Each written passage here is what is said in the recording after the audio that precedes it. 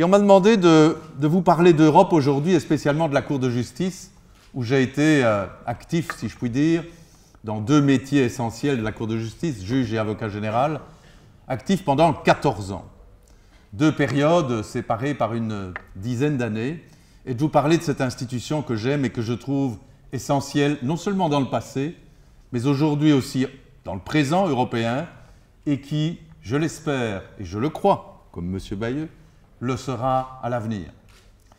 Je sais que je vous impose encore un cours de 45 minutes, alors que vous n'attendez qu'une chose, c'est le papier, le diplôme et le cocktail.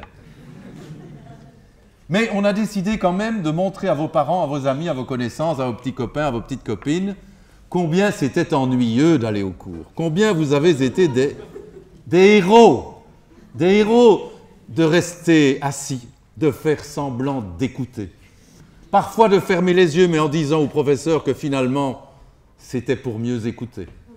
Parce que vous n'étiez pas encore arrivé à l'art suprême du juge, qui est à l'audience de savoir dormir les yeux ouverts. Ça viendra. Et donc je vous demande à, vous, les non-étudiants, les non-diplômés d'aujourd'hui, de vous rendre compte des souffrances qui ont été les leurs pendant les deux ans de master complémentaire et pendant les cinq années qui ont précédé, et en sachant que si je vois vos paupières se baisser, il y aura nécessairement des circonstances atténuantes. La Cour de justice. Alors la Cour de justice, je me rappelle, il y a, je le disais à mes amis tout à l'heure, euh, il y a quelques semaines, mon, mon médecin spécialiste qui soigne ma vieille cheville et mes vieilles hanches me disait, mais la Cour de justice, au fond, mais, mais qu'est-ce qu'on y fait?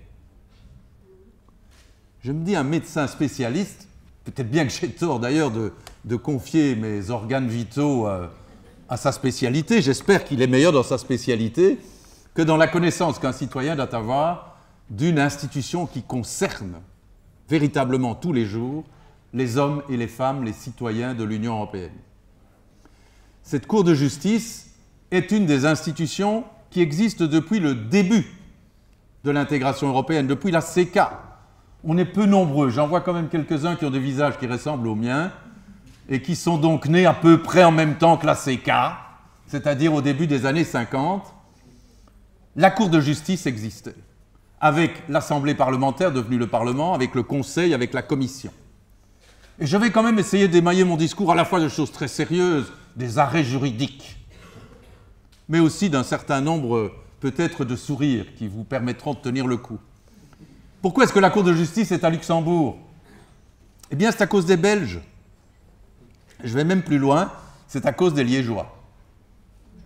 C'est à cause des Liégeois parce que quand les cinq pays fondateurs, en dehors de la Belgique, les Pays-Bas, le Luxembourg, la France, l'Italie et l'Allemagne avaient proposé de mettre la CK à Bruxelles, les Belges gênés on dit aux autres, il y a un problème.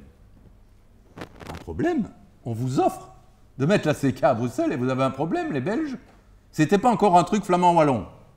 On en a eu après. Non, c'était Liège. Liège qui avait provoqué la querelle parce que Liège disait le charbon et l'acier, c'est moi en Belgique. C'est pas Bruxelles. Il n'y a pas une seule entreprise sidérurgique et il n'y a pas un seul charbonnage. C'est Liège embarras. Les Liégeois, euh, plein d'enthousiasme, invitent le chancelier Konrad Adenauer, le premier chancelier de la République fédérale d'Allemagne, à venir visiter Liège. Et on lui montre le palais des princes-évêques, on lui montre le perron, on lui montre l'hôtel de ville, la place du marché, la belle Meuse. Et Adenauer pose une bête question. Il dit oui, d'accord, oui, c'est très bien. Lüttich, sehr schön, mais euh, où pensez-vous mettre la CK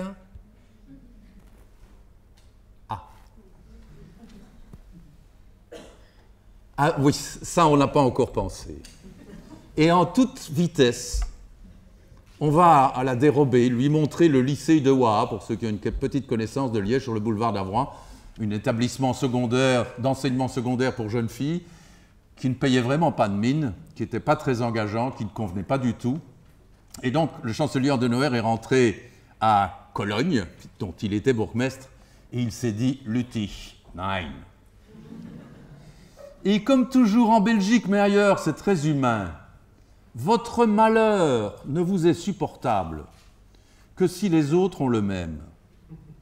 Et donc, au niveau belge, il a finalement été décidé que Bruxelles ne l'aurait pas parce que Liège ne l'avait pas. Et c'est pour ça qu'on est à Luxembourg et qu'il reste d'ailleurs à Luxembourg d'autres institutions, d'autres organes et d'autres organismes de l'Union européenne que la Cour de justice. Il y a la Cour des comptes, la Banque européenne d'investissement, il y a des services de la Commission, des services du Parlement européen. Et heureusement, en 1957, les Luxembourgeois ont dit avec le marché commun, oui, mais pas tout chez nous. Hein. Et c'est grâce à cette remarque des Luxembourgeois que Bruxelles a pu récupérer et puis amplifier son rôle de capitale européenne. Ce qui lui donne d'ailleurs un nom peu sympathique aujourd'hui. Hein. Bruxelles, franchement, quand vous allez à l'étranger, on ne parle pas de Belgique, hein. on ne parle pas d'une capitale. On parle de ces affreux technocrates européens qui imposent des choses qui sont par définition mauvaises. Et la Cour de justice est là pour mission de faire appliquer ce droit européen qui au début était limité à la concurrence, on appelait ça le droit antitrust, qui était limité au droit de douane, et puis euh, s'est élargi bien entendu à toutes les grandes libertés de circulation, mais qui touche aujourd'hui pratiquement tous les domaines de la vie sociale, de la vie citoyenne, de la vie internationale. Et j'en donnerai quelques exemples mais que ce soit euh, le problème des, réfugiés, le problème de l'égalité homme-femme dans, dans, le travail et dans d'autres domaines de la vie sociale, que ce soit la lutte contre l'homophobie, que ce soit le respect des directives sur les marchés publics, que ce soit la protection des consommateurs, y compris de ceux de Ryanair qui sont victimes des grèves, que ce soit de la politique étrangère et de sécurité commune, que ce soit le droit des marques, que ce soit, Eduardo, la fiscalité, tout cela fait partie des décisions de la Cour de justice, qui a bien changé, évidemment. Vous imaginez. Vous imaginez, elle est née en 51, regardez comment on est devenu en 2018, euh, ça change. À la fois, ça grandit, puisque maintenant, il y a 28 juges et 11 avocats généraux, puisqu'il y a 28 États membres, enfin 27 et demi. Hein. Euh, dans 6 mois, euh, normalement, ce sera 27. Mais avec les Anglais, il faut toujours se méfier. Le match n'est fini que quand l'arbitre siffle. À la 94e minute, ils peuvent encore marquer. On ne sait pas ce qui va se passer avec les Anglais, jamais dans une négociation. Et donc le 29 mars, moi j'ai mis mon réveil à 23h59 et 59 secondes, avec la radio allumée, pour savoir s'il n'y a rien, rien qui a empêché finalement ce à quoi on s'attend maintenant depuis plus d'un an et demi. Donc 28 juges, 11 avocats généraux. Au début, il y avait 6 juges, fait plus un, 7 pour être en nombre impair, c'était évidemment une beaucoup plus petite cour.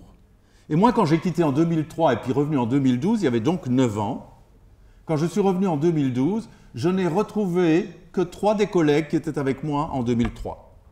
Puisqu'on est nommé pour 6 ans éventuellement mandat renouvelable, ça veut dire que c'est une juridiction qui humainement, en taille aussi vu les élargissements de l'Union européenne, mais aussi humainement, change beaucoup. Et elle change beaucoup et donc elle a des juges d'autres pays, elle a d'autres juges des mêmes pays, elle a des juges et des avocats généraux plus jeunes. Avant, on y trouvait des juges qui avaient plus de 80 ans, je trouve que c'était une très belle époque. Mais aujourd'hui, c'est beaucoup plus jeune qu'on y entre et c'est beaucoup plus jeune qu'on en sort. Le nombre d'affaires a été multiplié.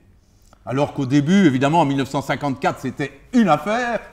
Aujourd'hui, on chatouille le millier d'affaires à la Cour et on a créé, en dessous de la Cour, le tribunal qui s'appelait de première instance, maintenant qui s'appelle tout simplement le tribunal, qui a environ un, stock d'affaires de 1500 dossiers, dans tous les domaines que je viens de vous expliquer. Le nombre d'affaires, le nombre d'affaires urgentes, puisqu'on a créé des procédures d'urgence pour statuer dans un délai de 3 ou 4 mois dans des affaires où il y a par exemple des personnes qui sont détenues, qui sont en prison, pour lesquelles il faut une solution rapide, les libérer ou pas les libérer, pour des enfants qui sont entre deux parents qui se disputent dans des pays différents et où il faut savoir chez qui ils peuvent être mis en garde. Nous avons aussi de nombreuses audiences. Je vois ici quelques plaideurs qui viennent de temps en temps à la Cour de justice avec leur robe d'avocat. Avant, on pouvait plaider 30 minutes. Maintenant, c'est 10 minutes maximum. C'est dur, hein Et en plus, le président, quand... Euh, j'espère que vous ne me le direz pas, M. Bayeux, quand on dépasse le, temps de parole, le président dit Maître, concluez, s'il vous plaît. Alors vous avez des avocats un peu habiles qui vous disent, mais Monsieur le Président, j'ai encore un dernier argument. Il ne faut tout de même pas être trop sévère, je vous en prie, maître. Développe son dernier argument, généralement assez long, hein Enfin, ça, bon, j'ai accepté. Et puis il dit, mon deuxième dernier argument, je dis, maître, non, ça c'est terminé, vous avez conclu. Et donc, il faut réduire les durées parce que le nombre d'affaires est tel que si nous acceptions une durée trop longue, la durée des procédures serait évidemment exagérée. On n'a plus des conclusions d'avocat général. L'avocat général, pour ceux qui, qui, ne sont pas familiers, ce n'est pas le juge. Le juge, il décide. L'avocat général, il propose. L'avocat général, il travaille seul. Les juges, à la Cour de justice à Luxembourg, ils travaillent toujours à plusieurs. Les affaires simples, c'est trois juges. La normalité, c'est cinq juges. Les affaires compliquées, nouvelles, sensibles sur le plan budgétaire, sur le plan politique, c'est 15 juges, c'est ce qu'on appelle la grande chambre, pour augmenter la légitimité de la décision. Parce que s'il y a 15 juges, vous savez qu'il y a nécessairement 15 nationalités différentes de juges qui ont pris la décision. Ils sont représentatifs d'une certaine légitimité européenne. Et pour les affaires totalement exceptionnelles, il y en a une en moyenne par an, c'est l'Assemblée plénière, donc c'est les 28 juges, moins 1 pour faire le nombre impair. Alors la différence entre les deux métiers, ben, j'étais content d'être avocat général parce que comme avocat général, vous êtes seul et vous écrivez parce que vous voulez. Hein. Il faut écrire une solution juridique, mais vous êtes beaucoup plus libre et de critiquer, et de proposer, et de motiver. Mais d'un autre côté, vous ne décidez pas. Et ce qui est très frustrant, c'est que les juges, quand ils décident et qu'ils ne suivent pas vos conclusions, ils n'expliquent pas pourquoi. Par contre, être juge, le grand avantage, c'est de participer à la décision et de négocier avec les collègues, de faire passer des idées, d'essayer de les convaincre, d'essayer de, faire en sorte que l'idée que vous avez au départ est la bonne et deviendra celle de la majorité. Mais d'un autre côté, c'est un travail beaucoup plus astreignant, beaucoup plus collectif aussi, mais avec beaucoup plus de présence, d'audience et de délibéré. Au fond, j'ai aimé les deux métiers et je vais vous faire une petite confidence si on me reproposait un des deux, n'importe lequel, je ne ferais pas le difficile, je le prendrais. Mais j'ai dit tout de même, lors de ma mise à la retraite, quel méchant mot je trouve, le 8 octobre dernier, le prochain avocat général belge à la Cour de justice, ce sera pour 2053. Ah oui. Alors, j'en ai parlé à mon épouse, et franchement, après mûre réflexion, j'ai décidé de ne pas être candidat. M. Bayeux a dit l'Union européenne, c'est pour, au fond, protéger les États contre eux-mêmes. Ils l'ont en fait bien compris dans les années 50. Et je prépare une conférence sur le centième anniversaire du 11 novembre 1918. Il y a 100 ans que la Première Guerre mondiale se terminait. J'ai intitulé d'ailleurs Fin de la guerre, point d'exclamation, vers l'autre guerre, point d'interrogation. Et en ayant lu les préparatifs du, traité de Versailles, j'ai découvert qu'un collaborateur du ministre français du Commerce extérieur, un jeune collaborateur, un gamin, un peu comme vous, tiens, ça doit être ça. Il venait juste de sortir de l'UNIF. Et il avait dit à son ministre du Commerce extérieur, Monsieur le ministre, si on veut la paix demain, il ne faut plus faire vainqueur contre vaincu il ne faut plus occuper le vaincu, il ne faut plus prendre ses ressources, même pour l'en priver. Non, il faudrait mettre toutes les ressources, surtout celles qui sont les plus dangereuses, il faudrait les mettre ensemble, sous une gestion commune, supranationale. Nous sommes fin 18, début 1919. Il ne faut jamais désespérer. M. Bayeux l'a dit tout à l'heure, on a des difficultés, mais le futur, on peut le faire en 1919, ce jeune collaborateur, ce jeune qui avait eu son chapeau aussi euh, très récemment, collaborateur du ministre du Commerce extérieur, c'était Jean Monnet. Jean Monnet qui n'a pas désespéré, parce qu'il est devenu le co-auteur de la déclaration Monnet-Schuman, qui a fait en sorte que, enfin, son idée, elle a été reprise en 1950, après avoir été mise de côté comme un bête rêve en 1919. Protéger les États contre eux-mêmes contre l'illusion qu'ils ont de pouvoir tout faire eux-mêmes. Et surtout de dire que tout ce qui ne va pas, c'est l'Europe. Regardez un peu la presse aujourd'hui sur les livraisons d'armes à l'Arabie saoudite. c'est bien, c'est bien. On pense, on pense à les supprimer. Mais c'est à l'Europe à décider. Ben oui, on est tous bien sûrs que probablement les 28 ne décideront pas tous et que donc on pourra continuer tout seul. Ce discours a tellement bien marché qu'aujourd'hui, si vous allez dans tous les pays, et spécialement dans les grands, mais aussi dans les petits, dans les nouveaux, dans les anciens, le nord et le sud, ce qui est mauvais, c'est Bruxelles. J'étais dans un taxi à Paris récemment, et je demande au chauffeur de taxi, mais qu'est-ce que vous pensez de la règle qui vous oblige à allumer vos feux de croisement en plein jour? C'est encore l'Europe, hein, ça. J'avais compris qu'il n'aimait pas, hein Je lui dis, mais non, non, non, non, c'est je le savais bien, évidemment. C'est franco-français, ça n'existe que chez vous. Ah Ça, c'est drôle, hein Quelque chose qui est mauvais et qui ne vient pas de Bruxelles. Et les États ont toujours, toujours entretenu, comme un actionnaire d'une société qui dit c'est pas moi, c'est la société. Ah, écoute, si c'est la société, c'est nécessairement les actionnaires. Ah, il peut y avoir peut-être un petit qui n'a rien à dire, mais c'est même des grands pays qui sont des grands actionnaires de l'Union européenne qui nous disent que c'est de la faute de l'Europe. Prenons nos responsabilités en sachant que, comme Paul-Henri Spaak disait, en Europe, il n'y a que des petits pays. Il y en a qui le savent et il y en a qui ne le savent pas encore. Et c'est toujours vrai. On a toujours cette illusion qu'un État égale un État. Allons, quand on voit les géants dictatoriaux ou démocra... démocratures, hein, qu'on dit, démocraturiaux qui nous entourent, que ce soit la Chine, la Russie, la Turquie, d'autres pays du monde. Nous sommes en fait un petit îlot, 5% de la population mondiale en 2050. Bien sûr, on a toujours été habitué à être le centre du monde. D'ailleurs, quand on a fait les planisphères, les premiers planisphères, c'est nous qui les avons faits, les Européens, on est évidemment au milieu. Hein. Mais je ne sais pas si vous avez déjà vu une carte dessinée par les Chinois. C'est fou ce qu'on est petit, hein Parce qu'ils mettent la Chine au milieu, hein Et les Australiens, ils n'aiment pas toujours d'avoir la tête en bas, hein Et donc ils font une carte aussi qui est renversée. C'est fou ce qu'on ressemble à la Nouvelle-Zélande. On est à gauche ou on est à droite. On a été le centre du monde.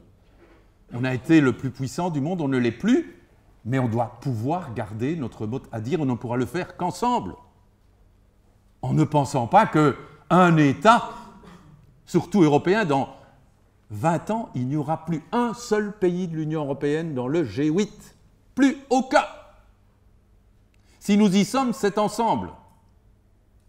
Alors vous me direz, c'est pas toujours gai, hein, c'est pas toujours amusant, c'est pas toujours facile. Ben oui, je sais bien.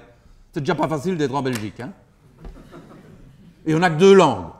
Dans l'Europe, on en a 24.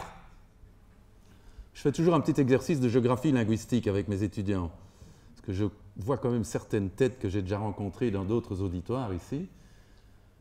Quelles sont les quatre langues qui viennent de pays euh, qui ne sont donc pas des langues officielles de l'Union européenne, 24 langues, alors qu'il y a 28 États, donc il y a quatre États qui n'ont pas amené une nouvelle langue dans l'Union européenne. Lesquels? Allez, vous qui aimez les cours interactifs?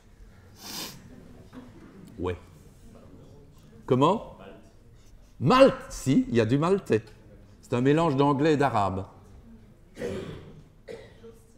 L'Autriche, très bien, parce que c'était l'allemand. Et voilà, c'est toujours la bonne erreur, c'est extraordinaire. L'Irlande, parce qu'ils croient, comme tout le monde, qu'en Irlande, la langue officielle, c'est l'anglais. Eh ben non L'Irlande a pour langue officielle le gaélique. Et quand on dit que les Belges sont des obsédés linguistiques, écoute, les Irlandais qui demandent la reconnaissance comme langue officielle d'une langue que leurs citoyens ne comprennent pas, il faut déjà y aller. Hein. On n'a pas encore fait ça, nous. Hein Donc pas l'Irlande. Un sur quatre hein, pour le moment, vous êtes mofflés, hein, toujours. Allez. La Belgique, quand même. Voilà, on n'a pas posé de problème linguistique chez les autres. Français, allemand, néerlandais, pas une nouvelle langue. Même si parfois les Français qu'on rencontre nous disent Vous parlez belge, vous? Oui, oui, oui, oui. Ça, c'est la culture internationale. Allez, il m'en manque deux. Le Luxembourg, qui lui est un pays méritant parce qu'il a une langue, le Letzburgisch, et il n'a pas demandé la reconnaissance comme langue officielle. Et le quatrième Oui, Chypre, très bien. Chypre, puisqu'on y parle grec. Bien. 24 langues en Europe. Mais l'illusion qu'un État est un État, oui, aux Nations Unies, le Luxembourg a le même poids à l'Assemblée générale des Nations Unies que les États-Unis. Oublions, hein. J'adorais la, petite déclaration de Jean-Claude Juncker quand il était Premier ministre du Luxembourg. Jean-Claude Juncker recevait le président chinois. Pas mal, hein Chers collègues, c'est déjà pas mal, hein, si tu peux dire, chers collègues, au président de la Chine quand tu es Premier ministre du Luxembourg. Moi, je jouais à Petit Rechin et que j'aurais reçu Lionel Messi et j'aurais dit, chers collègues, ah oui, on joue au football tous les deux, hein bon.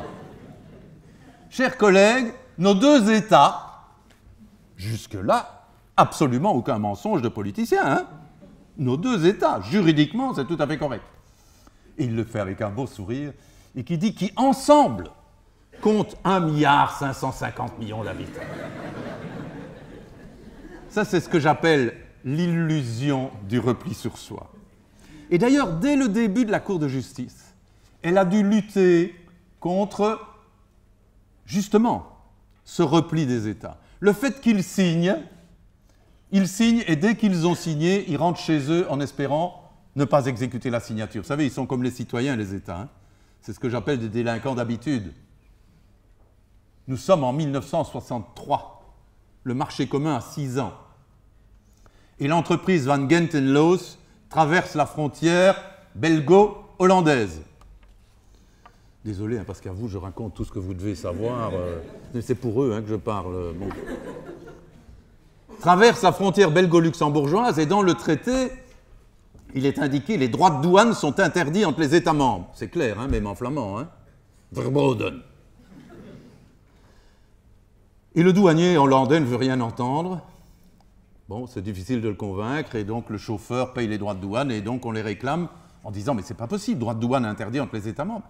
Ah, mais que sont venus dire les Pays-Bas devant la Cour de justice? Vous voyez le bazar, ils sont venus dire Oui, c'est vrai, on ne conteste pas que c'est écrit dans le traité. Ah oui, déjà, ça c'est bien. Mais qu'ils disent Envers qui nous sommes-nous engagés? Nous nous sommes engagés vis à -vis des autres États. Moi, j'ai signé, disent les Pays-Bas, j'ai signé un contrat avec la Belgique, le Luxembourg, la France, l'Italie et l'Allemagne, pas avec Van Gentenloos, pas avec les citoyens, pas avec les entreprises.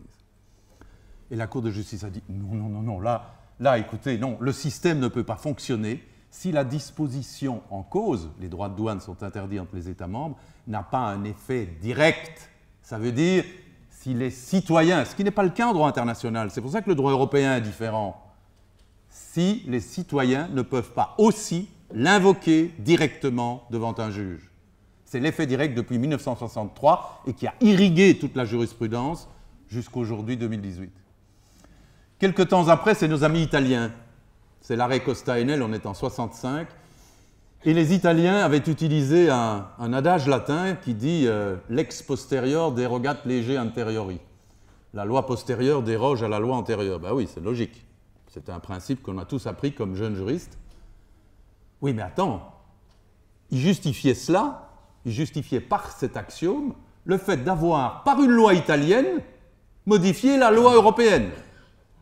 Donc je modifie tout seul la loi commune. C'était ça que l'État voulait.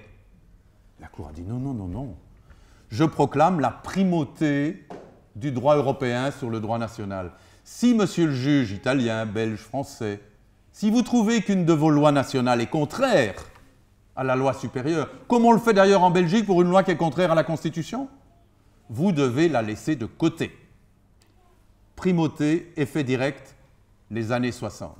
C'est M. Bayeux hein, qui m'a dit, vous devez parler quand même de certains arrêts importants de la Cour. C'est évidemment les deux, les deux piliers. Je ne vais pas en citer beaucoup d'autres.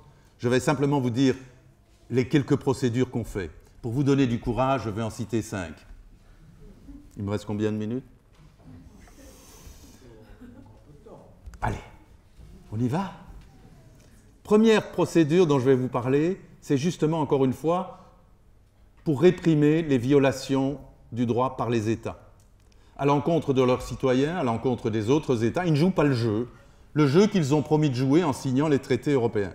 C'est extraordinaire d'avoir au niveau européen un juge N'oubliez pas qu'en matière internationale, on a très rarement un juge. Et qu'en droit international aujourd'hui, c'est pour ça qu'un État est un État et plutôt une fiction, c'est la force qui prime. Hein c'est la force.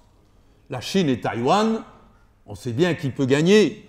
La Russie et la Crimée, qui peut gagner. Donc, en droit international, d'avoir un juge qui s'impose aux États, c'était un progrès extraordinaire en 1957. Et donc, la Cour a commencé à condamner les États. La Belgique, d'ailleurs, a été euh, bien condamnée pour non-transposition directive, pour une loi contraire au traité, mais on n'était pas les seuls. Hein on n'était pas les seuls. Enfin, il y a des États qui sont meilleurs élèves que d'autres. Hein Nous, on est un peu, allez, dans le milieu du peloton. On n'est pas les plus mauvais, mais on n'est pas non plus euh, le merx du respect. Hein non. Comme disait le général de Gaulle, euh, les Italiens et les Belges, vous sautez comme des cabris quand on parle d'Europe. Mais sous-entendu, disent les Anglais, vous ne respectez pas le droit européen. Et ceux qui ne respectent pas le font évidemment au détriment de ceux qui respectent. C'est vrai dans tout. Et figurez-vous que les Anglais se sont fâchés. Pour la première fois dans l'histoire, la dernière d'ailleurs probablement, les Anglais ont demandé un renforcement des pouvoirs de la Cour de justice. Ils ont dit, nous, on en a marre d'être les seuls à respecter le droit européen. Et c'était vrai.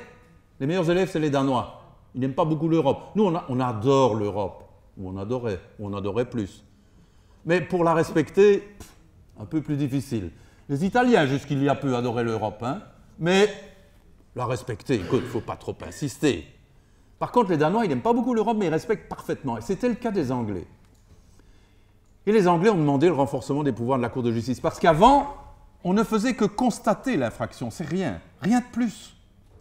Donc vous roulez à 180 sur l'autoroute, le gendarme vous arrête, et il vous dit, monsieur, vous roulez à 180. Ah oui, c'est vrai. Ça va, vous pouvez aller. Et vous ne voyez rien venir comme petit papier. Demain, on ne va pas se priver, on roulera encore à 180. Mais les États, c'est la même chose. La Cour de justice condamnait, et quand la Belgique a été condamnée en 1959, la première fois pour un recours en manquement, ça a fait évidemment les pages des gazettes. Ce n'était pas Internet à l'époque, mais c'était la première page du soir, la Belgique condamnée. Quel principe, vraiment? Mais, vous savez, c'est un peu, moi, comme j'étais ministre de la Justice, j'ai vu euh, l'histoire des prisons, on appelait ça nos maisons, un peu comme si c'était des hôtels. Quand vous y venez souvent, ça passe plus facilement. La première fois, c'est dur, hein c'est quand même impressionnant. Mais quand c'est la troisième, la cinquième, la dixième, à la limite, vous demandez le numéro de cellule, comme dans un hôtel que vous connaissez bien, hein vous vous habituez. Et puis, ce qui aide beaucoup dans les condamnations, c'est quand les copains sont condamnés comme vous. Vous avez déjà eu la blague, hein Vous vous garez dans une rue où c'est stationnement interdit, mais tout le monde est du mauvais côté, il reste un créneau, vous le prenez. Et vous ramassez un PV. Mais qu'est-ce que c'est pour une affaire? Tout le monde y était. C'est que la règle, est, stupide. Hein On avait finalement tous raison, je ne veux pas être puni. Et depuis 1960 jusqu'à 1990, c'est un peu la philosophie qui s'est installée chez les États. Pas de manière expresse, mais une simple constatation, ça fait pas mal. Et ce sont les Anglais qui ont proposé de créer un mécanisme d'astreinte et d'amende pour punir les États qui ne respectaient pas les condamnations de la Cour de justice. Et ça marche. Les premières victimes ont été nos amis grecs qui étaient entrés à la cour, pardon, à la communauté en 1980, à qui on avait laissé un peu de temps pour exécuter ou transposer certaines directives, notamment en matière d'environnement. À un moment donné, la commission s'est quand même fâchée, donc elle est venue à la cour en 1990 première condamnation de nos amis grecs en 90, constatation à ce moment-là toujours, puis les Grecs, toujours rien, et le système change en 92 avec le traité de Maastricht. Et la commission revient devant la Cour en disant Oui, mais la Grèce n'a toujours rien fait, je demande une condamnation. Et en 2000, les Grecs n'avaient toujours rien fait, en 2000, la Grèce a été condamnée à 20 000 euros d'astreinte par jour jusqu'à ce qu'elle se soit mise en ordre. Six mois après, c'était fait. Je vous rappelle les dates 1980, 2000, et puis six mois. Cela veut dire que beaucoup d'autres États, comme la Belgique, comme la France, ont été évidemment euh, condamnés par cette procédure. Deuxième procédure, c'est une procédure beaucoup mieux connue en droit interne, c'est la procédure qu'on dit d'annulation. Donc, si vous n'êtes pas content d'une décision du gouvernement, que ce soit gouvernement régional ou fédéral, vous pouvez aller au Conseil d'État pour faire annuler la décision. Si vous n'êtes pas nommé alors que vous auriez dû l'être, si on a nommé votre voisin qui ne le méritait pas, vous pouvez aller au Conseil d'État et demander l'annulation. C'est ce qui se fait aussi en droit européen. Microsoft, je prends des noms que vous connaissez, Microsoft avait été condamné à 500 millions d'euros d'amende. 500 millions d'euros d'amende. Google, pour le moment, on est encore dans un, zéro supplémentaire. Microsoft peut exercer son recours devant le tribunal et puis en recours devant la Cour. Donc c'est un processus assez classique où on peut attaquer les actes des autorités européennes si elles vous portent préjudice et surtout si elles sont illégales. Vous êtes une société qui a reçu une aide d'État de votre pays, cette aide d'État est illégale, la Commission vous condamne, vous avez un recours, vous pouvez toujours aller devant un juge, le juge européen, si vous estimez que la décision qu'on vous impose est illégale. C'est parfois la difficulté d'ailleurs du métier de juge. On ne vous a pas vu. C'est la difficulté du métier de juge parce qu'il faut faire la différence avec l'opinion politique que l'on a d'un texte. Je vous donne un bel exemple.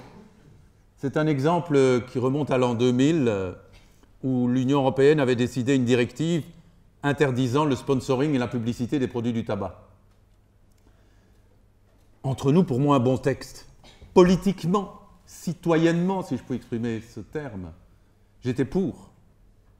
Mais l'Allemagne vient en recours, en annulation contre cette directive, non pas parce qu'elle voulait faire de la publicité et du sponsoring du produit du tabac, mais parce qu'elle estimait que cette matière, la protection de la santé humaine, c'était de la compétence des États et pas de la compétence de l'Union européenne. Et la Cour de justice a annulé la directive. L'Allemagne avait raison.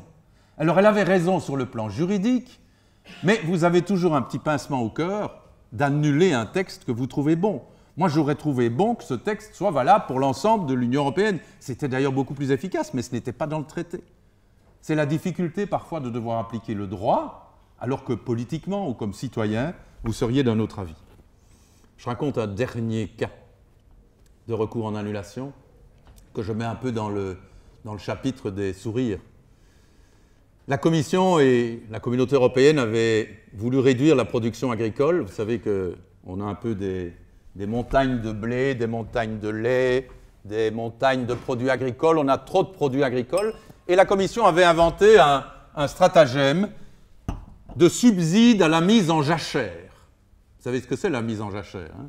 Je parle évidemment à des Bruxellois, ils ne voient pas beaucoup de prairies ni de culture, mais vous laissez reposer la terre. Normalement, d'ailleurs, c'est de bonne, c'est de culture de le faire, mais de le faire ici contre un subside, c'était autre chose. Et beaucoup de pays en profitent, reçoivent les subsides du Fonds européen d'orientation et de garantie agricole. Et la Commission fait quelques petits contrôles, notamment en Sicile, du blé. Du blé sur les terres mises en jachère. Vous n'avez pas l'air de réagir, mais en matière agricole, c'est ça relève du miracle. Hein ça relève du miracle. Et la commission dit non, non, je reprends les subsides, euh, rien à faire, vous devez rembourser les subsides, euh, Madame Italie. Et les Italiens nous disent mais non, ils avaient d'ailleurs déjà dit à la commission non, non, ce n'est pas du tout de la fraude, ce n'est pas du tout du détournement. Sous-entendu, c'est parce qu'il disait, mais la terre sicilienne, c'est une terre divine, quoi. Elle fait pousser le blé même quand on ne sème pas, tu t'imagines? C'est génial Ben oui, vous riez aussi. Mais l'Italie va en recours devant la Cour de justice contre la décision de la Commission. À l'époque, il n'y avait pas encore la compétence du tribunal. Et donc, j'étais juge, et l'avocat italien, ils sont beaux les avocats italiens. Les nôtres, ils sont noirs, il y a juste un petit truc blanc. Euh, on n'est pas très joli hein, en Belgique euh, ou en France. En Allemagne ou au Portugal, c'est encore plus sévère. En Italie, c'est coloré. S'ils viennent de Milan, de Côme ou de Palerme, c'est différent. Il était de bonne humeur, l'avocat, pour plaider de nouveau la bonne foi de la Sicile et de l'Italie et les qualités de la terre. Non, on n'a pas travaillé, on n'a pas travaillé, mais la terre, elle travaille. il y avait quelques arguments juridiques, mais franchement, c'est peut-être une des seules audiences où le sourire était partagé entre les juges et l'avocat. Alors on peut se demander, mais je reviens à votre argument, mais pourquoi est-ce que l'Italie a consacré autant d'argent à ce recours, d'envoyer un avocat, d'aller plaider, de faire des écrits, de faire venir la commission, de faire traduire Mais toujours pour la même chose. Pour pouvoir, une fois rentré en Italie, dire aux agriculteurs italiens, c'est pas nous, hein. c'est ces crapuleux de Bruxelles. Et les juges de Luxembourg, c'est leurs copains. Hein. Nous, on a été jusqu'au bout hein, pour vous défendre. Parce qu'on croyait en vous. Qu'est-ce que vous voulez? Ça nous est imposé. Discours qu'on retrouve à peu près partout. Troisième procédure, j'insiste pas, ça va aller vite. Vous aimez ça, hein C'est les recours à la Cour de justice contre les arrêts du tribunal. En termes de quantité, ce dont je viens de vous parler, ça représente une petite partie du travail de la Cour. Le gros du travail, c'est ce qu'on appelle les questions préjudicielles. C'est à peu près 450 à 500 affaires sur les 8-900 ce sont des questions que nous posent les juges nationaux. Le juge de Bruxelles, de Verviers, d'Athènes, de Lisbonne, d'Helsinki, de Vajna en Bulgarie. Ça nous vient des Allemands et des Italiens. C'est eux qui avaient cette technique-là au début et nous l'avons reprise d'eux en 1957. Et maintenant, c'est une technique qui existe dans beaucoup, beaucoup de pays, qui a été introduite en Belgique, qui a été introduite en France. Et beaucoup de questions préjudicielles nous viennent euh, des différents pays. Je vous en raconte quelques-unes. Une qui est célèbre, que j'adore, c'est Cassis de Dijon. Vous connaissez Cassis de Dijon? Vous avez déjà bu du Cassis de Dijon? Oui, m'a dit madame, oui, c'est bon. Hein. Et les Allemands avaient bloqué la frontière en Cassis de Dijon. Puisque les États peuvent mettre des frontières, il n'y en a plus, il n'y a plus de douaniers, c'est vrai, il n'y a plus de droits de douane, mais ils peuvent toujours mettre des interdictions pour des bonnes raisons, dit le traité la santé publique, la sécurité publique, l'ordre public, la lutte contre l'évasion fiscale. Et les Allemands disaient la santé publique, pour protéger la santé des Allemands. Interdit le cassis de Dijon. Et donc à l'audience pose la question, oui mais en Allemagne vous avez quand même du schnapps. Normalement c'est de l'alcool aussi. Ah oui mais le raisonnement c'est de dire, oui mais le schnapps c'est fort. Donc quand vous le buvez vous sentez tout de suite que c'est très alcoolisé et vous arrêtez. Tandis que le cassis de Dijon, c'est traître.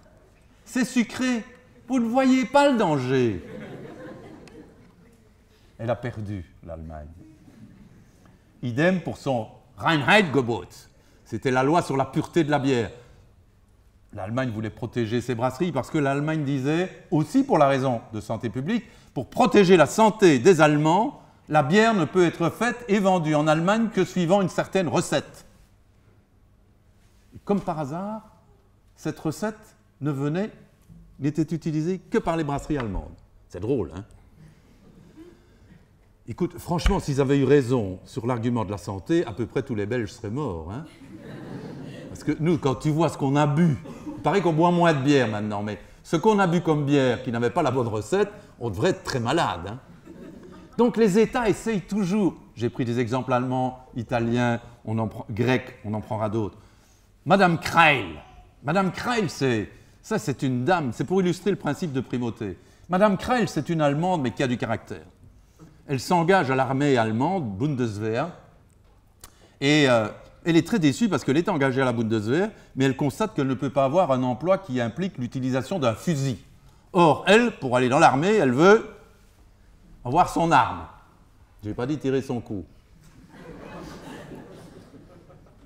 Or, la constitution allemande interdisait l'emploi des dames dans l'armée, sauf, tenez-vous bien, dans les fanfares et les cantines. Donc, oh madame, vous êtes révoltée, hein Eh bien, madame Kreil aussi, elle dit discrimination homme-femme. Et l'Allemagne était venue dire à la Cour de justice, pas touche, hein c'est de la défense, ça c'est les, nations, c'est les États. Et la Cour a dit non, non, c'est pas de la défense, c'est de l'emploi.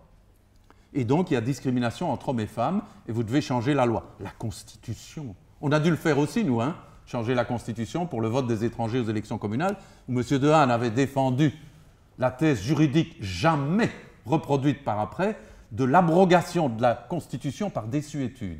C'est pas mal hein, comme, comme invention. On a dû finalement changer la Constitution, et les Allemands, dans l'année.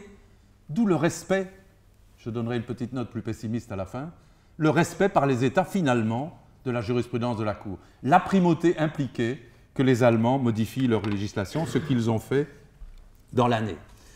Il y a encore eu des questions préjudicielles euh, en matière de protection des données. Vous connaissez la nouvelle, euh, la nouvelle législation sur le fiscal.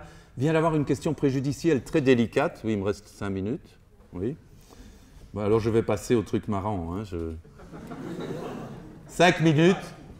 Donc euh, l'arrêt LM, un arrêt récent d'un juge irlandais qui devait transférer un prisonnier préventif à la demande d'un juge polonais. Et vous savez qu'en Pologne, il y a une série de modifications législatives et constitutionnelles, pour résumer, qui posent des gros problèmes en termes d'état de droit, de démocratie, de liberté et de respect du droit européen.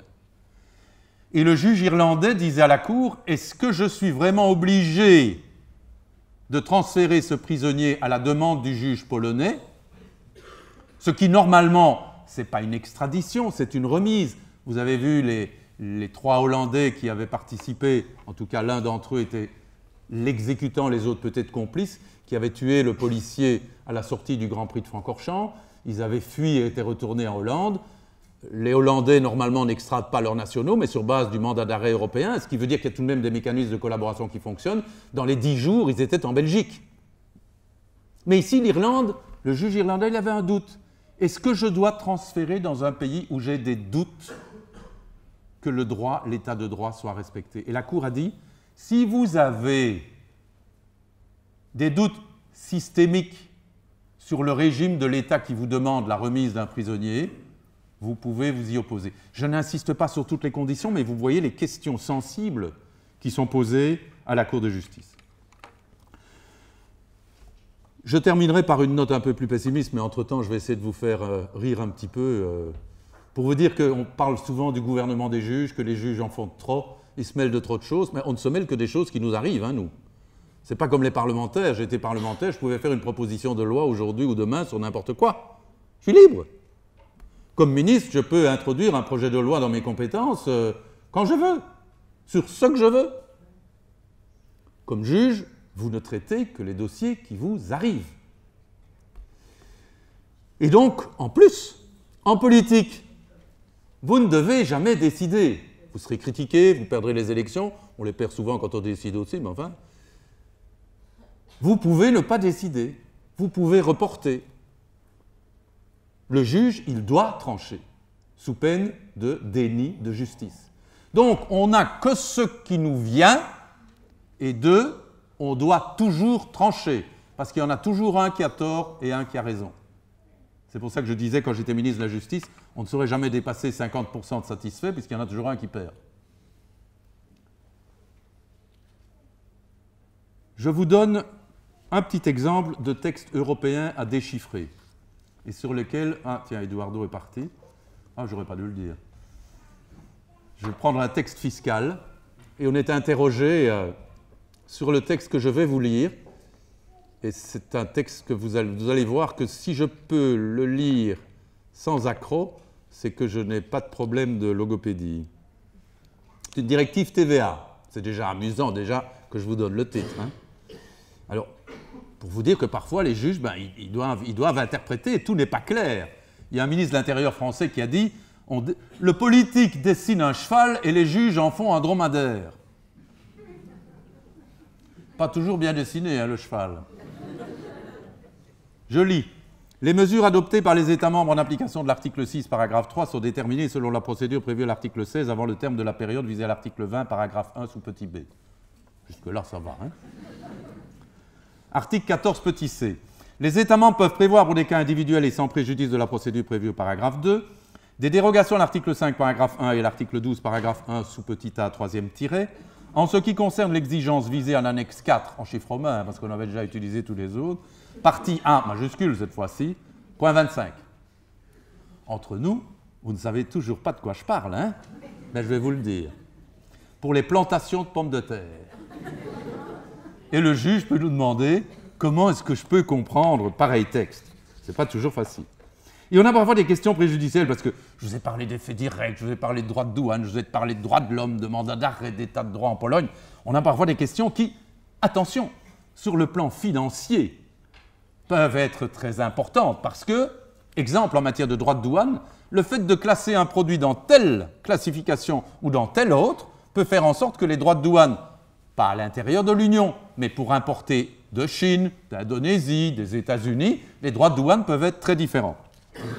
Alors je vous lis une question préjudicielle posée par le Finanzgericht de Hamburg, tribunal des finances de Hambourg, sur les notices explicatives de la nomenclature combinée douanière. Est-ce que ces notes, disent-ils, doivent être interprétées en ce sens que pour une gaine culotte On va dans le détail quand même. Hein L'élasticité est limitée dans le sens horizontal dès lors que l'élasticité horizontale est plus faible que l'élasticité verticale. Eh bien, entre nous, hein, comme juge européen, je n'avais jamais pensé devoir m'occuper de gaines culottes et surtout de découvrir qu'elles avaient à la fois une élasticité horizontale et une élasticité verticale.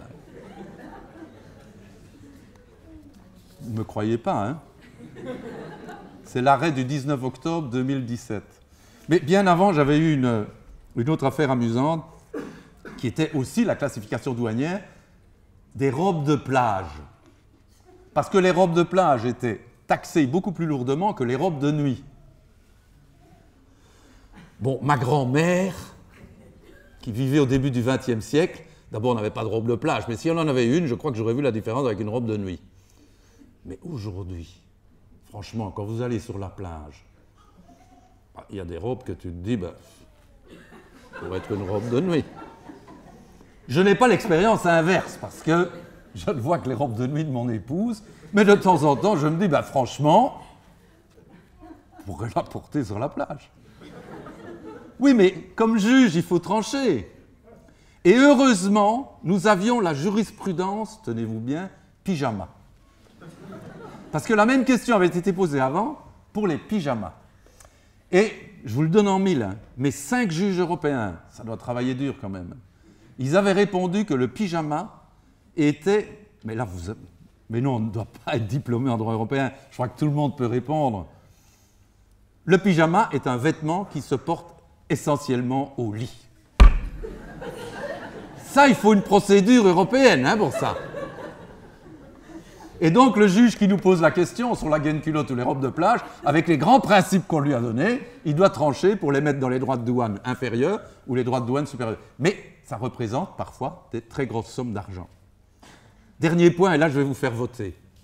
Je vais vous faire voter. Mais avant ça, de vous faire voter sur un cas amusant, je voudrais quand même terminer sur un cas inquiétant, qui est le cas de la Pologne aujourd'hui, puisque la Pologne, et c'est le premier État j'ai commencé mes études de droit européen en 67, à une époque où, où le droit européen était euh, véritablement une petite, une petite spécialité. Oui, je vais avoir fini, sais-tu. Euh. c'est les étudiants qui protestent. Euh. En 67, il y avait des cours de droit européen, un cours en option en dernière année. Tu vois le genre. Et c'était une annexe du droit international. Et donc, aujourd'hui, évidemment, nous sommes 60 euh, ans plus tard, et même si les États ont toujours renaclé, n'ont pas respecté, ont tardé, ont essayé, un peu comme, euh, comme des enfants, allez, turbulents, oui, qui n'étudient pas toujours, qui trichent parfois, mais enfin qui finalement sont des bons gars ou des bonnes filles. Mais aujourd'hui, la première fois, cela a été fait il y a quelques mois, la Pologne a dit, de toute façon, quoi que la Cour de justice décide, on ne respectera pas son arrêt, sauf si on décide évidemment dans son sens.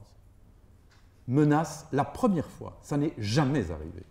Jamais, depuis 1951, jamais un pays n'avait menacé de ne pas respecter la décision de la Cour de justice. Et suivez l'actualité. La Cour de justice a décidé vendredi, dans une ordonnance de référé, d'ordonner à la Pologne c'était le pays dont le ministre était venu à l'audience, a ordonné à la Pologne de suspendre avec effet rétroactif sa réforme de la Cour constitutionnelle jusqu'à la décision définitive de la Cour de justice.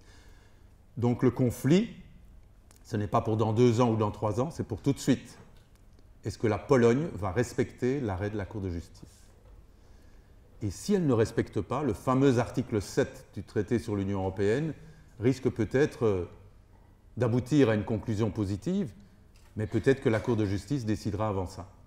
Et si la Pologne ne respecte pas, ce sont les sanctions financières, c'est l'astreinte, et c'est évidemment le conflit, parce que le droit, le droit ne peut tout résoudre.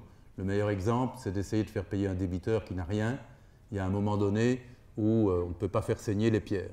Donc il y a toujours des limites à l'exercice, les limites au droit. J'espère, j'espère que pour l'Union européenne, la Pologne ne mettra pas et ne fera jamais plus, comme les autres d'ailleurs, ce genre de menace. Sans un système judiciaire respecté par les citoyens et par les États, aucune démocratie ne peut fonctionner. La dernière, allait pour vous faire sourire. Dernière question préjudicielle, l'arrêt est rendu, mais je vais vous faire voter. Encore une question de nomenclature. Est-ce que les corbillards, on a parlé des croque-morts tout à l'heure, est-ce que les corbillards, c'est des véhicules affectés au transport de choses ou au transport de personnes? C'est morbide. Hein? À votre avis, attention, hein, je fais voter, qui est pour transport de personnes?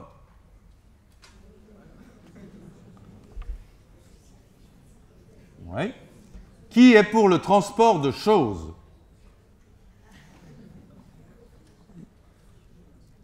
Il y, a, oui. il y en a qui n'ont pas voté, là. Hein. Euh, qu'est-ce que vous avez voté, vous? Personne. Ah, avec un petit doigt, alors. Hein, Ah, ouais. Allez, je recommence. Transport de personnes. Eh bien, franchement, hein, vous feriez d'excellents juges à la Cour de justice. C'est ce que la Cour a décidé. Je vous remercie.